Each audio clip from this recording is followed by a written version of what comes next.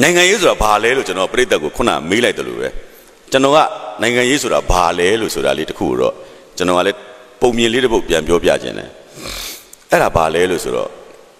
ကလေးလေးတယောက်ကကလေးလေးကသူ့အဖေကိုမေးတယ်ဖေဖေတဲ့နိုင်ငံရေးဆိုတာဘာလဲအဖေကသဘောကျသွားဟာငါသားငါနှစ်သားကြည်စမ်းဒီအရွယ်နဲ့နိုင်ငံရေးကိုစိတ်ဝင်စားတယ်သားလေးတော်လိုက်တာ သားကိုဖေဖေကြီးရှင်းပြမယ်တည်တည်ချာချာနားထောင်ဟုတ်ကဲ့ပါဖေမင်းတို့ငါတို့နေတဲ့ဟောဒီအိမ်မှာ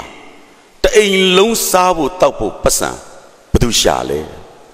အာအဖေကြီးရှာတာပေါ့ဟုတ်ပြီနော်ဒါဆိုရင်ဒီအိမ်ရဲ့အရင်ရှင်ကဖေဖေပဲဟုတ်ပြီဒါဆိုမေမေကြီးရောမေမေကြီးကဖေဖေကြီးရှာပေးတဲ့ပတ်စံနဲ့တအိမ်လုံးစားဖို့တောက်ဖို့ငါသားလေးတို့ကြောင်းသွားဖို့ငါသားလေးတို့ဝတ်ဖို့ စီမံခန့်ခွဲပေးရတဲ့အတွက် तू က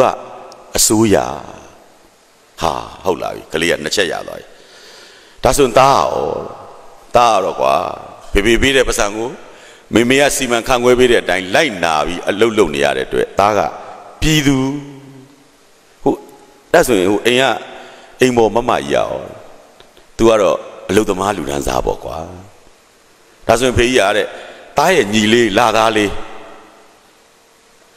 ရင်ခွင်ပိုက်သားကလေးညီလေးအဲ့ဒီညီလေးကိုဘာလဲအဲ့ဒါတော့တည်တည်ချာချာမှတ်ထားတို့တိုင်းပြည်ရဲ့အနာဂတ်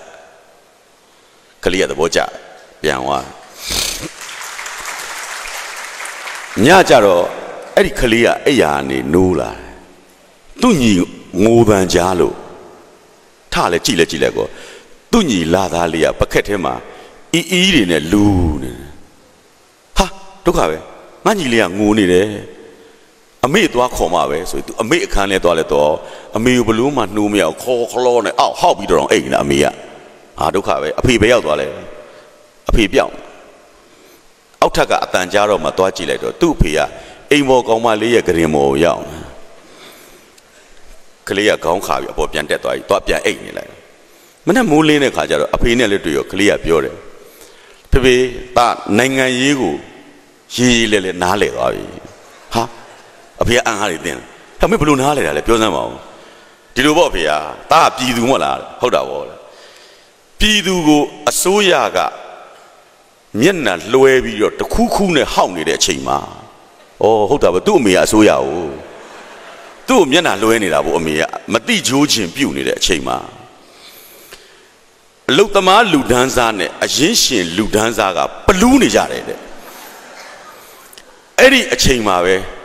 သားတို့ရဲ့အနာဂတ်ကတော့ချီးထဲမှာလူးနေတာပေါ့ဖေဟာ